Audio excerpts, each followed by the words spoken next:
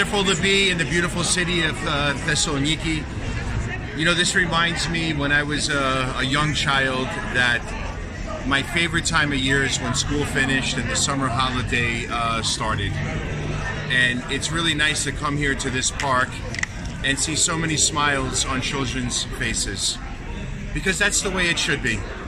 That's the way it is in many places, but it's not in every place. Too many times in these children's lives, it wasn't a smile, but it was despair. That they've gone through very difficult and traumatic times. Now, I'm a father of three, and I spend my lifetime trying to protect them and keep them safe.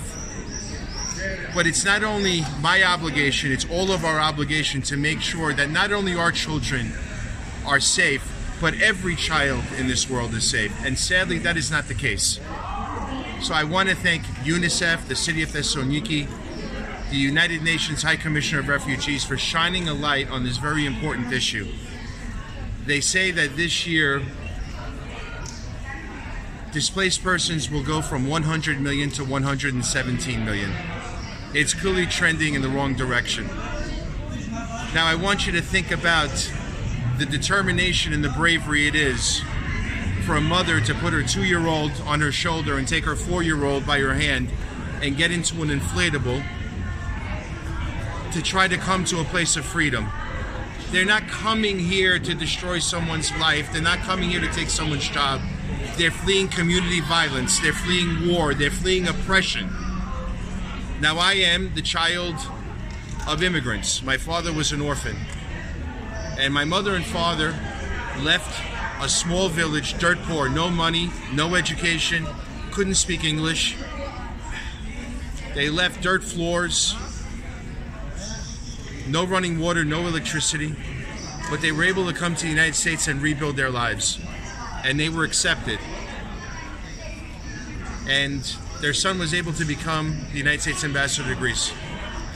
My family was given a second chance in life. This is what we should do here. These poor children have hurt nobody.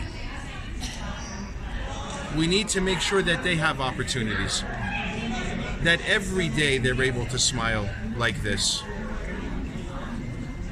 This is something that should speak to our ethos, our philotimo, our kalosini. Now, this is a beautiful place, Greece. This is a land of democratic values. This is a land of personal freedoms.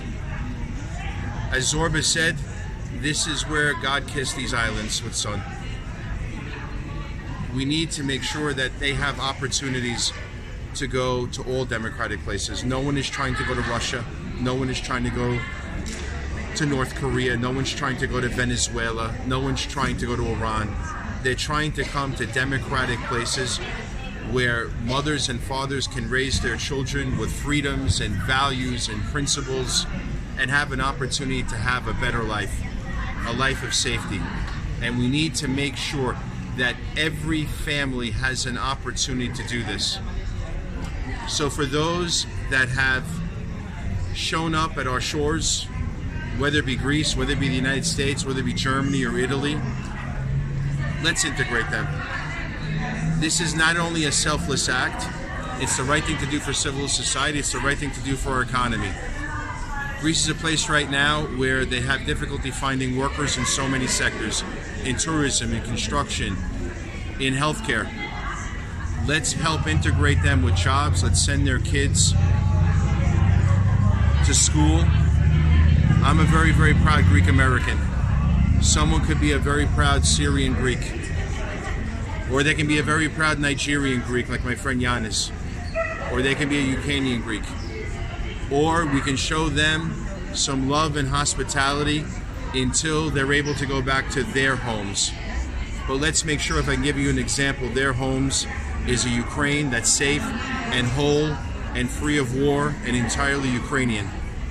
Again, we have an obligation to make sure that everyone has an opportunity to live in a place that is safe and that these children can smile every day, not just today. Thank